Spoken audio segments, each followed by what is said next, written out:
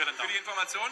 Und äh, ja, wenn Sie ihn sehen, dann im Krankenhaus alles Gute auch von uns, von Telekom Eishockey. Ja, hoffentlich sehen wir uns im März. Genau, das spätestens. Dankeschön. Danke, Jason. Dann einfach das Mikrofon weitergeben. Wir machen nämlich einen fliegenden Wechsel hier bei uns im Studio. Und jetzt begrüße ich Markus Böhm bei mir, der unter anderem dafür verantwortlich ist beim Stammverein EHC Straubing für eine besonders interessante Initiative zu sorgen. Ein Projekt, das nennt sich Sterne für den Nachwuchs. Markus, können Sie uns vielleicht ganz kurz erklären, worum es da genau geht?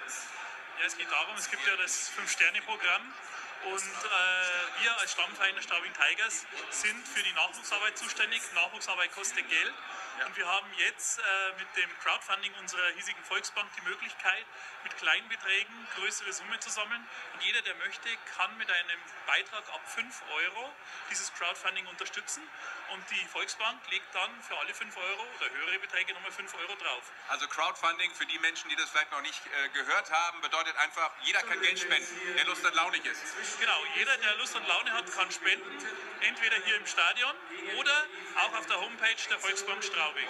Und es wird benutzt äh, für die Kids, für die Jugendlichen. Wie Genau. viele sind hier im Eisstadion am Pulverturm normalerweise im Einsatz? Wie ist da so das äh, Laufschulen-Mannschaftsverhältnis? Also wenn wir von der Laufschule und allen Mannschaften rechnen, haben wir wöchentlich 200 Kinder auf dem Eis.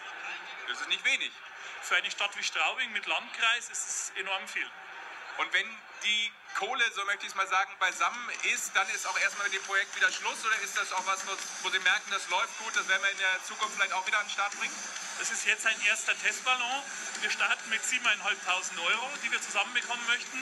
Und wenn das gut funktioniert, dann gehen wir in die nächste Runde und werden die Summe etwas erhöhen. Ich wünsche Ihnen auf jeden Fall erstmal viel Glück. Danke für die Information. Wenn es um Kinder und Jugendliche geht, dann hören wir natürlich gerne zu. Danke, Markus Böhm. Und jetzt hören wir gerne weiter zu, wenn Rick Goldmann und Basti Schwele am Mikrofon ein bisschen aufzelebrieren. Denn es gibt eine Menge, vielleicht auch noch eine Menge Tore mit euch. Wir freuen uns auf die letzten 20 Minuten. Neun Stück haben wir schon gesehen. Was kommt noch? Ab geht's.